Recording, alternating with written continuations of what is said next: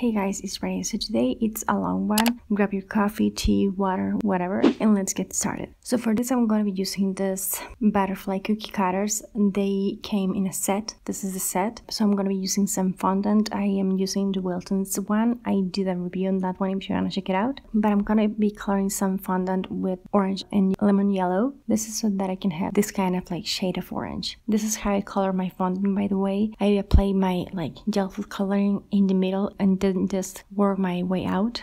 I think most people do that. I'm gonna be using this electric blue and this teal by Wilton. I did a review on this one if you wanna check it out. It's like from a set as well. And this is how much I'm adding of each one. Lastly, this pink one that is like from the same set. So I'm gonna be storing my fondant colored in uh, some cling pack and just leave it in for a few hours. This is just so the color intensifies more and just gets better. I'm using this roller that came with these two rings, removing the thicker one just because I don't want my butterflies to be super thick, rolling my fondant and just cutting my butterflies and doing the same thing in like the three colors. I'm also using this like, um, I don't know how to call this, I don't even remember the name, but this palette thing, just because I want my butterflies to set and dry with an angle, giving the illusion that they're flying sort of. And now I'm to be decorating my butterflies by painting them. I'm to be using my vanilla clear extract and gel food coloring. I made few designs. For the orange one, I mixed my orange tulip red using my brushes. This is a set by Wilton. First, I'm to be painting like the top part of the wings red and then just blending the whole thing with the brush. It's actually really easy this part and pretty relaxing I would say. You just gotta make sure to remove the excess from your brush with a napkin just so that everything looks seamless. I'm gonna be doing the same thing for like the smaller butterflies. Then I'm gonna be using this like thin brush from the set as well but I made it thinner. I do have a DIY showing you how to do this. I didn't do that DIY on this brush but I did pretty much the same thing. Mixing my super black with my clear vanilla extract and first painting the middle part like this and I did that with with all my butterflies by the way. This is how I did it in all of them. But then just working on the details of my wings. It's like a lot of detailing but it's like real easy to do if you have this brush. I really recommend it. It's really easy to work with. I made two designs by the way and you're gonna notice what it is hopefully. It's like pretty much like a gap on the bottom part and I'm gonna be filling the like edges as well with this brush. I'm doing the same thing for both sides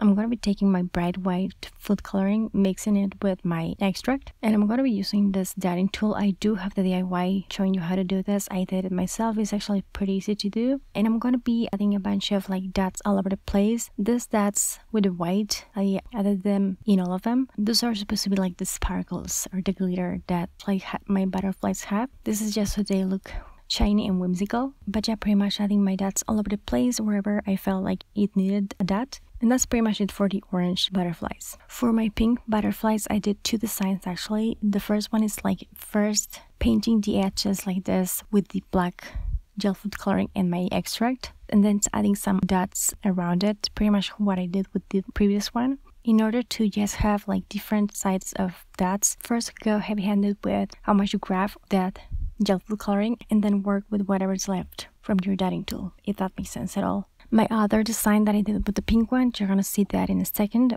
but first I'm gonna be painting my blue ones using my bigger uh, Wilton brushes, working with my purple and my pink, mixing those two with my extract, and first adding a line with the purple like this, blending that and smoothing that, pretty much like we did in the, like the first butterfly when we were blending the red one, but this time like this, smoothing everything towards the middle part of like the butterfly, and then using my other brush to just apply some pink. Now this showed up pretty much purple. I think it's because I'm working over blue, but it kind of showed a little bit. And then just blending a little bit towards the middle part of the butterfly, adding the black part in the middle. When I paint over something else, I always let it dry for overnight, by the way, because otherwise it would bleed. Adding a detail in the middle like that, adding some sparkle as I did before on the four edges and then in the middle like this. Now I made another design for the blue that I mentioned before I did with the pink one. I'm going to be taking two dotting tools, the one that I've been using so far and a bigger one. I do have the DIY showing you how to do this too, but it's pretty much like a bigger dot. Mixing my black gel food coloring and my white with my extract as well. And I think you can use vodka as well. And pretty much adding bigger dots all over the place, white and black ones. And then just going with the smaller dotting tool and adding smaller dots where I feel like there's an empty space. I fill it with a dot. And stop until you're pretty much complete with my thinner brush and add the two dots resembling the eyes. This is what they look like as they are. And I really like them. I think they look super cute like this. You can use this to decorate cupcakes, cakes, cookies, cake pops if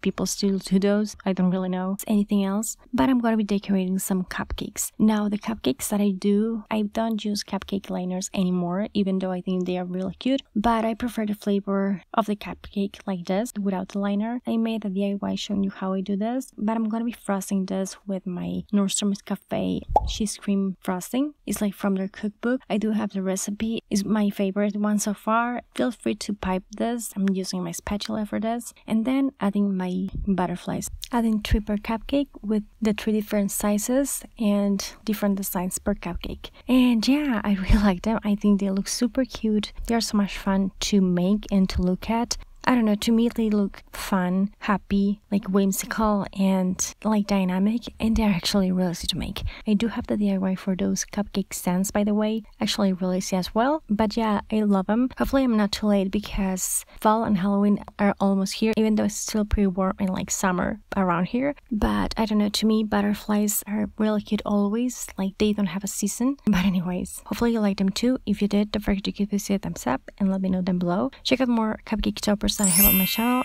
and share this. Thank you so much for watching. I'll talk to you later and take care. Bye.